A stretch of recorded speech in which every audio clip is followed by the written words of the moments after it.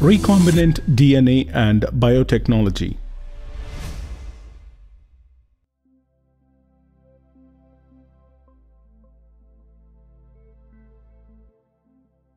In order to study a gene,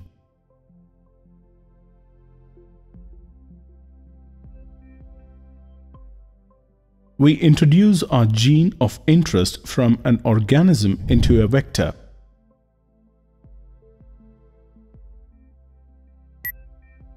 We then introduce this recombinant DNA into the host cells, allowing it to multiply. This DNA can then be isolated, purified and studied further for better understanding of its functions. This technology is called recombinant DNA technology. The bacterium Escherichia coli or E. coli is an extremely convenient tool for molecular biologists to study the effect of genetic manipulations. We can observe rapid results which can be quantified easily since it is a single-celled organism. It has a simple genomic makeup it can reproduce and grow very rapidly. This is the desired gene from a study organism. This gene is selectively removed from the genomic or plasmid DNA and can be cloned into a host organism for further analysis. In order to check if transformation has occurred, we use marker genes. A dominant selective marker, such as an antibiotic resistance gene, is constructed into the vector. If a host cell takes up the vector, it takes up the gene of interest in addition to a gene that provides antibiotic resistance.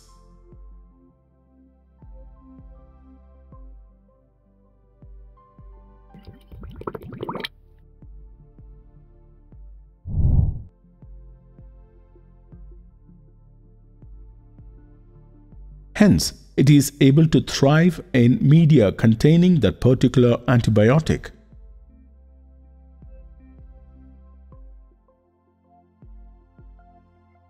This allows us to select the cells that have taken up our gene of interest.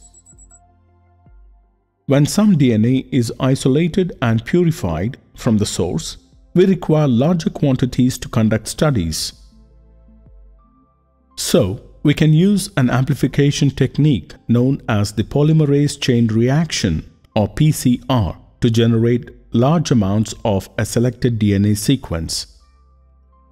A fragment of DNA, about 100 or more base pairs in length, acts as the template. We then add primers of length 17 to 30 nucleotides. The forward primers are complementary to the beginning of the template and the backward primers are complementary to the end. The deoxyribonucleotides DATP, DCTP, DGTP and DTTP make up the nucleotide pool. A polymerase enzyme is employed to extend the strands. The first and most commonly used one is Taq polymerase from the organism Thermus aquaticus. It is heat resistant and can withstand high temperatures. There are three steps in each PCR cycle denaturation, annealing, and extension. Denaturation When the DNA is heated to about 94 degrees Celsius, the double-stranded DNA is separated into two strands. Annealing this process occurs at 55 to 65 degrees Celsius.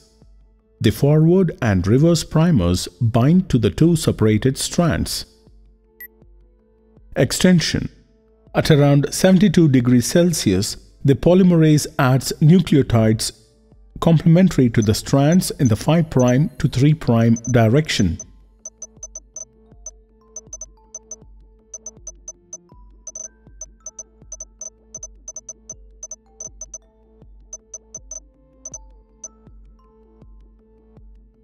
This way, an exponential amplification of the DNA is observed with each cycle.